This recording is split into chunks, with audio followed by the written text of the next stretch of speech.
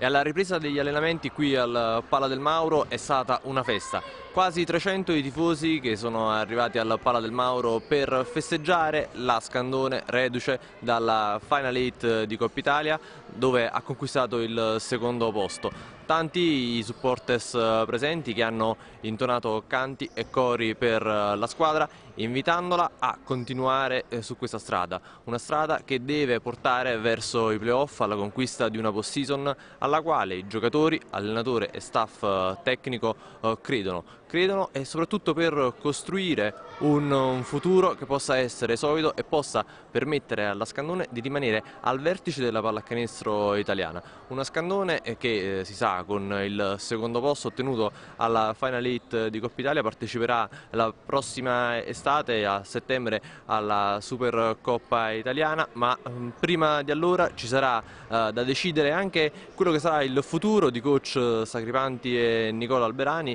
il proprietario della Sidigas Gian Andrea De Cesare ha parlato di possibile uh, conferma, una conferma che eh, sicuramente i due eh, professionisti meritano e meritano di conquistare assieme a Avellino i playoff.